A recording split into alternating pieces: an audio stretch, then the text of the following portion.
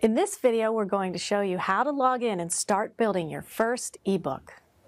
Now remember, you can't build on your mobile device. You have to build on a computer. So go to a computer and open up the Chrome, Safari, or Firefox browser and log in.